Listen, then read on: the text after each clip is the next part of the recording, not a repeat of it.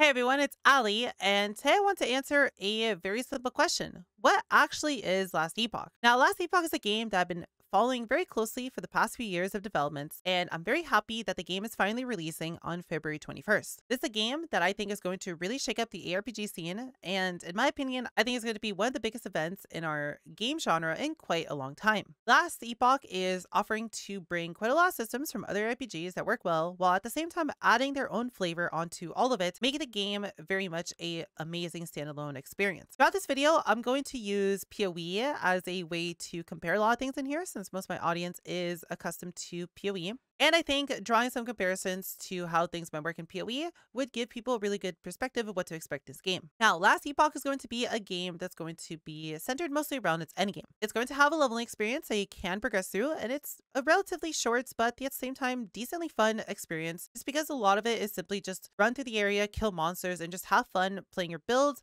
and have fun enjoying how it scales and how you put it together as you go forward. The nice thing here as well is that while you're leveling, the ability for you to respec both the passive points in a tree and your skills is very easy to do. So it offers a lot of experimentation and it lets you really try out everything your class has to offer if you're not specifically following some sort of build guide and you just want to see what you can do with what you currently have. The other really nice thing about this game is its crafting system. Its crafting system is so simple and it's so easy to follow and it's something that is literally a part of the game all the way from the first zone that you start the game in to where you can always keep crafting gear and you can always keep upgrading upgrading it in a way that feels good and it feels impactful, while at the same time not being such a mandatory system that you have to do it. You can very easily get to endgame without crafting a single item and simply just picking up items off the ground that are upgrades for your current setup. With all that put together, leveling feels really good in this game, and it lets you get to endgame fairly quickly, which is where the true meat and bones of the game actually are. The final thing I want to mention about leveling is the fact that it's really easy to level alts simply because there's a way to do dungeon skipping, which is something that you'll only have access to once you are a little bit more into endgame. And the nice thing is because you don't actually need to complete the whole story every time, you just need to go and get enough passive points to fill in your 15 additional passive points you get from the side quests in the story. You only need to complete the full experience once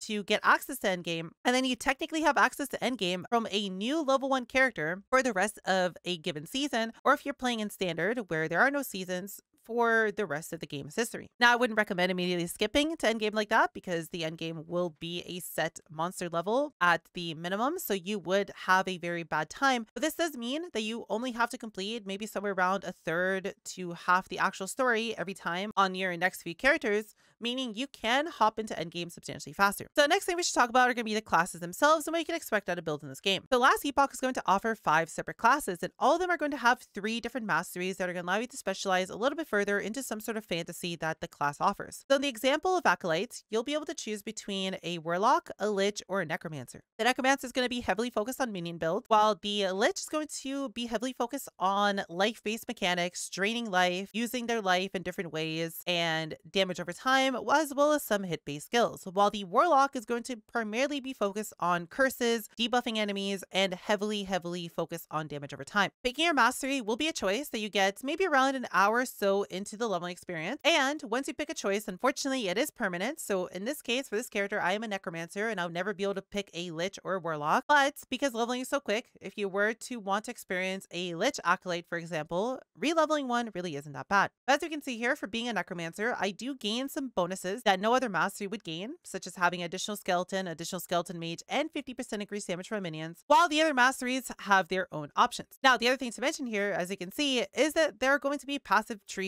for this game. And they're not going to be super expansive like PoEs are, but at the same time, they're going to be pretty in depth. Every class is going to have a base passive tree. So for example, here's my Acolyte passive tree, and it goes left to right with it progressing the more points you put into it. At the same time, I'm going to be unlocking some skills as I put more and more passive points into my skill tree. And no matter what, you are going to always have these skills unlocked as no matter what, being able to put points in the mastery passive trees is going to require that you have a minimum of 20 points allocated into your base tree as indicated by this blue line here. After that, can start putting points into your masteries, and these are going to be heavily focused around whatever the mastery is based on. So in this case, for Necromancer, most of these points for Necromancer are going to be heavily focused on making my minions substantially stronger. Now, with that said, these mastery passives are not mastery agnostic. That means I can put points into the Lich tree as a Necromancer. Now, while I'm a necromancer, I have access to my full tree. That does not mean I'd have full access to lich trees. As you can see here with this chain, I can only access the first half of the tree. So that means any of these passive points are permanently unaccessible by me. And at the same time, that means, for example, I would never be able to pick up Death Seal if I don't specifically pick up a lich. And the really nice thing about all this is that it's really simple to respec by just simply coming to town and talking to the respec master. All you need to do is just simply click on the points that you want to respec, and it just simply is a small amount of gold to respec whatever you'd like. Now, with that out of the way, let's talk about skills and how skills actually work. Now, this game is going to have quite a lot of different skills, and about 95% of all the skills are always going to be available for you at any given point. Now, each mastery is going to have its own mastery specific skill. So, for example, for Necromancer, I would get Summon Wraith, and no one else would be able to use Summon Wraith unless they are Necromancer specifically. Now, that said, there will also be a few locks. So, for example, I can't use Death Seal because I can never put 30 points into Lich, but for the majority of the skills, you're always going to be able to use them at any given point. Now, instead of having something like support gems, like in Path of Exile, the way the skills in this game are going to work and the way you're going to augment them to make them more interesting is that each skill has its own separate passive tree that you can put points into to augment the way the skill works. Now, you're not going to be able to specialize in every single skill at the same time. You're only going to be able to pick five, and these slots are going to unlock as you progress further and further into the story, with you having all five of your specialization slots unlocked as soon as you hit endgame, and the first three are unlocked fairly early on, allowing you to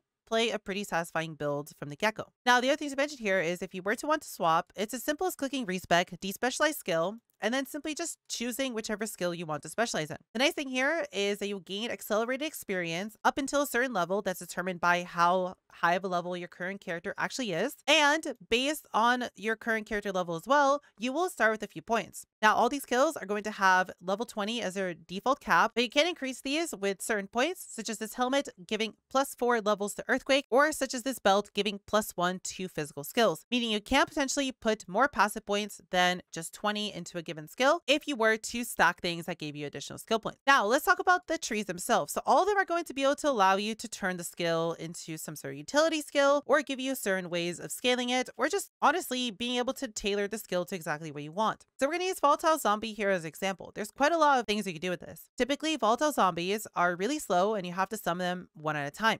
If you want to make them faster and if you want to make them have an easier time get to enemies, you could potentially pick up Fervor, which gives them movement speed, or Leap Attack, which makes them jump to enemies. If you don't want to sit here and summon them one at a time, you could potentially go and get Dreadful Horde, which gives them a cooldown and it makes the mana cost higher, but allows you to mass summon them in one go rather than you having to summon them one at a time. If you want them to heal you, for example, you could potentially pick up Necromantic Fervor, which is going to heal you based on how much health they had when they exploded. And if I wasn't playing a health based build, if I was playing a ward based build, I could make them instead give me ward. If I want to make these give me support buffs, I could potentially go over here and make them give me mark on death when they explode, giving me overall more DPS. And if I wanted to specialize into making them do damage, for example, I could always make them do poison damage. I could always make them vomit on enemies, and I could potentially either make that vomit give me armor shred or potentially make it so the vomit itself gives me poisons. And this kind of customizability is available not only through just the skill itself, but through other unique items that also interact with certain skills. For example, we have Tirani's Bidet.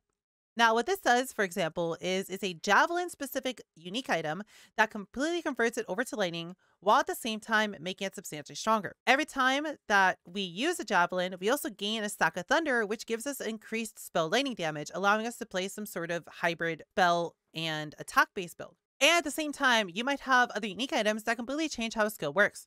So here, for example, you have Gladiator's Oath, which makes it so your third Dancing Strikes creates a fighting arena, and anything inside this fighting arena is substantially more susceptible to crits. At the same time, we also have a few sets in this game, and what I really like about what Last Epoch has done is that these sets, while potentially being very powerful, are very limited in their reach and are not like set items, for example, in D3, where you need to have seven different set items on and they do something. Realistically, the way sets are made in this game is they're meant to be a way for you to place a certain playstyle while at the same time gimping you a little bit by using up one or two of your slots without it completely taking away all sort of decision making you have in your build by making the set item itself take up every slot that your character has. So for example here, we have Velitra's Downfall. This is a two set of a staff and a helmet, if I'm not mistaken. And what this would do, even if we just wanted to use Downfall by itself, is that Meteor is converted to Lightning. And if we wanted to put on the two set, we would now gain spell lightning damage per int. So that means we could play an int stacking setup with Meteor that would give us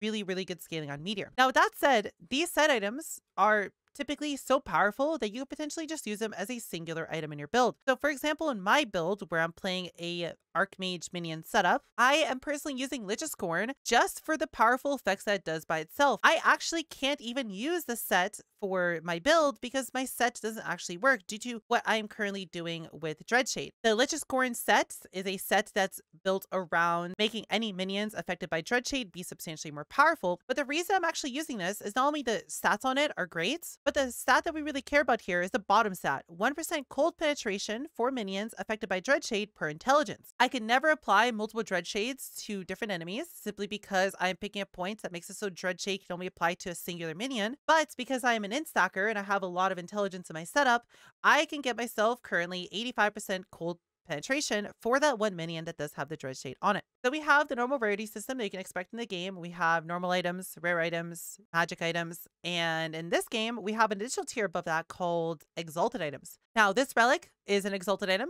because it specifically has a purple stat on it. And what exalted items are specifically are higher tiers of rules that can only be dropped. So for example here, we have tier 6 physical resistance. In this game, tiers work backwards to where tier 6 and tier 7 are the highest and tier 1 is the lowest roll. And 6 and 7 can only be gotten as drops from monsters. For example, this pair of glove right here, if we look at it, it has a bunch of rules that say tier 5 and as we can see it's max craftable, meaning that the best possible non-exalted item you could make would be one with 4 tier 5 mods on it. Exalted items are really cool because this makes it so items on the ground are always worth checking and always worth picking up. And due to the way filters work in this game to where everything drops identified, you can set up a filter to where you only see exalted rolls that you actually care about. The other really cool thing to consider here are experimental items. So for example, these gloves right here have an experimental mod on them. This mod is not available anywhere else in the game and is only available as an experimental mod which drops from a mini boss that you can sometimes encounter in your maps. These experimental mods can be very powerful and they can do things that completely change how the game works. And because of this, these mods give you a whole new way of thinking about endgame items and crafting.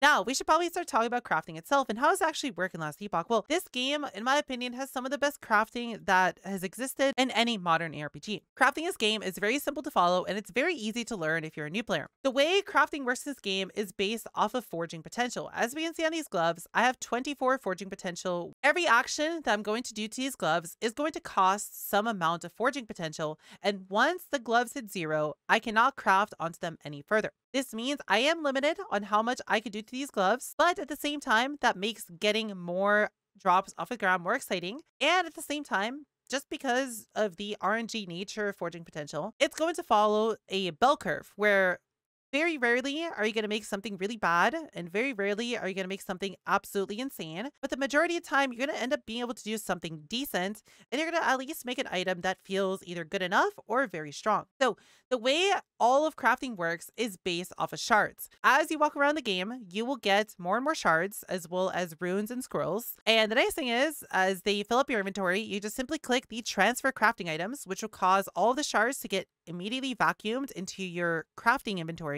meaning that you never have to worry about inventory management of any sort of crafting based material. And the way this works is we have different shards that give me different affixes and they are organized in both suffix and prefix shards. So for example here, if I want to specifically look at all my prefix shards, this is everything I currently own. All items in this game will have two prefixes and two suffixes they can add to. And as we can see on these gloves, I have an open suffix. So I could potentially do, if I needed, for example, life on these gloves, is I could click this plus button here. I could go over to suffixes and I could specifically go and find the health shard and specifically add it to my item. Now, this is going to guarantee that's always going to be added, but it's always going to be the lowest roll possible. What I could do is augment this. So for example, I could use a glyph of hope, which is going to give me a 25% chance that when I add this health shard onto my gloves, that it will not use any forging potential. As we can see here, it's going to cost 1 to 18 forging potential to do this. So if we were to do this, as we can see, we gain a tier 1 health roll and we lost 2 forging potential. So we got pretty lucky there on it not using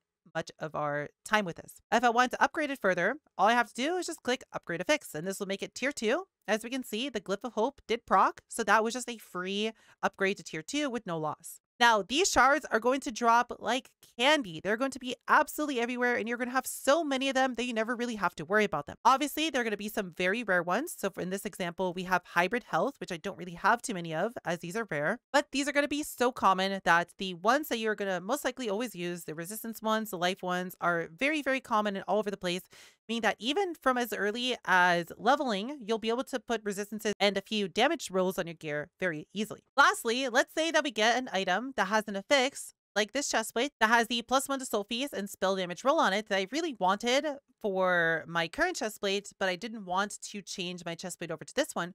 Well, what I could do is I could just use a Rune of Shattering. And what this would do is it would destroy the item and it would give me the current shards that are on the chest plate as shards added to my crafting inventory. Now, this is not a guaranteed chance to work, as in I might not actually get a level Feast shard, but the higher the tier, the more likely we are that we're going to get whatever shards it has. So if we were to shard this item, it'll completely destroy it. And as we can see, we got four level of Soul shards, we got one physical resistance shard, and six armor shards, meaning that if I were to take a new chest plate, I could now take those Soul shards, which I now have 22 of, and potentially just add it to a chest plate that has an open prefix. Crafting this game is very simple, it's very easy to follow, and I will have a full crafting guide if you want more information on it if you want some more advice on how to craft and how to make half decent items in the game. And that will come out in a few days, but it'll be out before the release of the game. Next up, let's start talking about systems in this game. So what I want to first talk about are going to be the things that people are really interested in.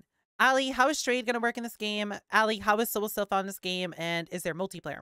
So for trading, Last Epoch is doing something very interesting where we are going to have two separate factions they're going to be able to choose between, and they're going to give you different things based on which one you pick. The two factions are going to be one that is focused around the auction house, and yes, this game will have an auction house, and then the other faction will be based on Solo Self-Found and buffing your time in Solo Self-Found. I have a full in-depth guide on both of these factions, and I'll link it in the description below if you want to know more, but I'll give a quick rundown of how this is going to work. So once you get about halfway through the story, you'll be able to choose which faction you want. If you choose the auction house faction, obviously that means you'll be able to use the auction house and you can buy and sell items on there. But if you choose the Solo Self faction, if you don't care about trading with other people and you just want to do everything on your own, the Solo Self faction will allow you to target farm items easier while at the same time giving you massive buffs to a variety of different things that'll make getting gear in Solo Self-Found substantially easier. Both of these factions are really cool because you can swap between them at any time you want. The only downside being that you lose the benefits of each of them. So if I were to swap from Solo Self-Found to trade because I started Solo Self-Found, but now I want to min-max the build and I have a lot of money, I can swap over with my current character. It does mean any gear that acquired during Solo Self-Found will not be usable in trade. And because I get to keep my gear, it's just unusable. If I ever get bored of trade and I want to keep playing Solo Self-Found, I could just swap back to Solo Self-Found and be able to use the gear that I already had. I think both these factions are a really new innovative system and the fact that this game just has an auction house in general, in my opinion, makes trading in this game that's going to make endgame min-maxing really, really fun to do. The other thing to talk about here is going to be multiplayer. Now, this game is going to have full multiplayer support on launch, and if you want to play with your friends, you can. And there are even quite a lot of decent builds that work really well in multiplayer that can be used as supports, or a lot of skills just have different ways to actually help your friends out. An example of this might be that my skill does armor shred, which for me doesn't really matter too much, but for my friend who's playing a physical build, really would appreciate that, meaning that I can buff my friend's damage by quite a large amount. Multiplayer is going to feel really good. And what I like about multiplayer is that it can potentially be so strong to play with other people that you'll be able to push endgame a little bit further than what people can do on their own. Meaning that if you want to experience the hardest contents and you want to play with your friends, you can do that and you're incentivized to, rather than playing with your friends, making content very, very easy. So Endgame and Last Epoch is going to work very similarly to Path of Exile system, where you're going to be running through a bunch of randomly generated zones. You're going to have a bunch of different objectives to do and you will get some sort of loot at the end for it. Now, the way this all going to work in Last Epoch is through Monoliths of Fate. So when you first start off and when you first get to endgame, you're going to be starting off in Fall the Outcasts, and you're going to want to slowly progress through the different islands all the way to the end. And once you get to the end and beat the three islands at the top, you'll have access to empowered monoliths, which is the true endgame of Last Epoch. You can kind of think of this as your mapping progression at the start of a season in PoE, where you have to start in white maps and then go to yellow maps and eventually go to red maps. Once you do beat the three islands at the top, you do unlock empowered monoliths, which effectively turn every single one of these islands into endgame islands. If we were to look here at Fall of the Dragons, Normally, if I were progressing, I'd go through the normal one, which is area level 85. But now that I have empowered monoliths available, I have a level 100 version of every single one of these zones, meaning that eventually all these become endgame farming areas. Now, what is so special about these different zones?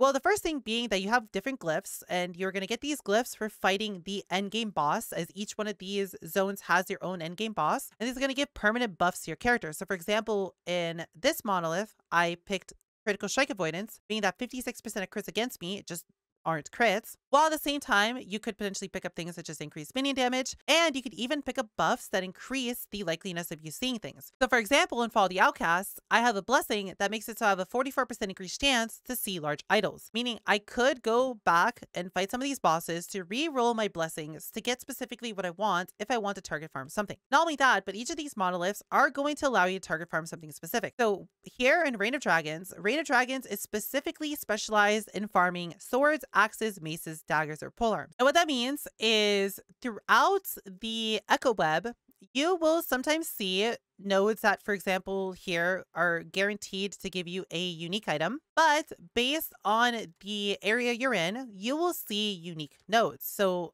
for example, here in Black Sun, if I wanted to specifically farm a specific shield, I'd come and do Empowered Black Sun as I will start seeing a lot of these nodes that give me a, a guaranteed unique or set shield, meaning I can specifically target farm shields until I get exactly what I want. So let's talk about how the end game actually works and how monoliths work. So each of these different monoliths will have its own large, massive web that you can slowly fill up by going between different echoes. You can think of these echoes as maps in Path of Exile. If I were to go do this specific echo, it'd be a randomly generated tile with randomly generated enemies and randomly generated objectives. The objectives in this is not always the same thing. It's not always go to the end, kill the boss, and then leave. Sometimes it might be kill a bunch of really powerful elites. Sometimes it might be defend a beacon for a few seconds while enemies run at you.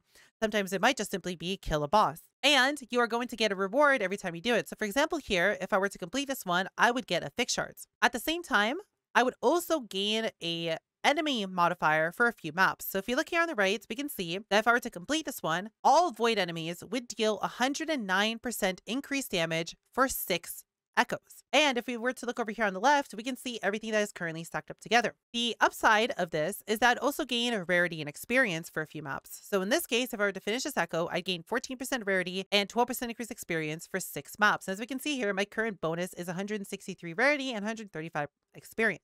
The other thing to mention here is corruption. And this is where the true endgame of Last Epoch kicks in. What corruption is, is a permanently stacking stat that is going to make the game substantially harder while at the same time making it more lucrative. As we can see here in the zone, I currently have 179 corruption, and this means that all enemies have 89% more health and damage, meaning that everything is substantially harder. And this corruption is separate for every single one of these islands, meaning that you can restart and you can tailor a specific zone to have the amount of corruption that you want on it. The way you gain this is very simple. As you progress and the further away you get from the middle, you're going to start seeing these nodes, which are going to allow you to fight the Shade of Orobyss. Now, what this is going to do is it's going to fully reset your web. So if I farmed a bunch and my web was completely full all over the place, I could do one of these to completely reset it back to scratch where I only have access to just the starter node and whatever islands are right next to it. And this would also give me corruption. So if we were to look here, if I were to complete this one, I would gain 7 corruption and an additional 9 corruption from the Gaze of Orobyss. Gaze of Orobyss is gained every time you gain enough stability at the top to fight the main boss of the zone. Now these bosses are going to be somewhat difficult encounters and they're going to have their own drop table of unique items that are not obtainable anywhere else. And as you complete nodes, you gain stability to fill up this bar. And when you do fill up the bar, you can fight them. And if you were to fight any of them before resetting your web, you gain extra gaze to be able to progress your corruption faster. Eventually, once you get to high corruption, if I were to do an Orobyss that's really close to center, instead of this gaining me corruption, it might just reset the web or gain me negative corruption. Meaning, if I feel comfortable at 400 corruption and my build can farm it really well and I don't want to go further up or further down, I can just choose to find Orobyss whenever I'm ready to reset my web that's very close to the beginning and it'll either make me gain a minimal amount of corruption or make me lose a minimal amount of corruption, allowing me to always stay around a certain level if that's what I choose to farm. Overall, I love the way that the end game works in Last Epoch. And I absolutely love monoliths. Monoliths are really fun to do and they're really fun to farm. And the fact that you can infinitely scale them to make them as difficult as you want, my opinion, makes them really, really fun to do. It makes it fun that eventually every build is going to reach a comfortable level where farming the corruption feels good. So for example, if you have a really meta build, that means you can push a little bit further, meaning you'll get a little bit more loots. Now, I do want to mention that the loot difference between very high corruption and medium corruption really isn't that much. It's an incentive to do harder content, but it's not to the point where somebody farming 500 corruption versus you farming 100 corruption means they're getting five times more loot than you. It's going to be a very minor increase, but it's going to allow you to push further. And it's going to feel really good doing content that's appropriately difficult for your current setup and for your current build, meaning that effectively everything is viable in Last Epoch in terms of being able to do endgame. It's just some builds will be able to push a little bit further than others. Overall, I think Last Epoch is an amazing game and I think it has quite a lot to offer. And I think that this game is going to be a very serious competitor to other RPGs in the genre. And I think it's going to be a very fun experience for quite a lot of people. I like that it has a lot of complexity and it has a lot of different ways to put your build together. And just due to the way the game is designed and how it allows for so much flexibility and what you could do with your builds and what you could do with items, you can play quite a lot of different builds. And so far, even though the game hasn't even released yet, just throughout all the betas, so many content creators have created so many fun and unique builds in this game that the sky is effectively the limit. I think it's going to be a very fun experience. And I think simply just due to how some systems are a lot simpler to understand and get used to, that a lot of people are going to really enjoy their time with the game. And I think their experience with it is going to be honestly really wonderful. If you have any further questions, please let me know in the comments below. I'll be more than happy to answer any questions whenever I can. Or if you want to watch me play the game, I'll be playing it live on Twitch every single day up until the launch of it and beyond the launch of it until the next Path of Exile season. So for the next month to two months or so, you can expect a lot of Last Epoch content out of me, and you can always expect to see me play it on Twitch. So if you want to see it for yourself, if you want to come hang out with the cuties, I'll be more than happy to see you on Twitch. Other than that, I hope you cuties enjoyed. I hope this explained what Last Epoch is all about and some of the basic systems in it. And if you do plan to play yourself, I would appreciate it if you buy it on Nexus. It's the same thing as if you're buy it on Steam, you get yourself a Steam key, but you get to support your local e-girl as I get a tiny cut of it. But if you just buy it on Steam, that's also understandable. Other than that, hope you kiddies enjoy. I hope to see you in the next video.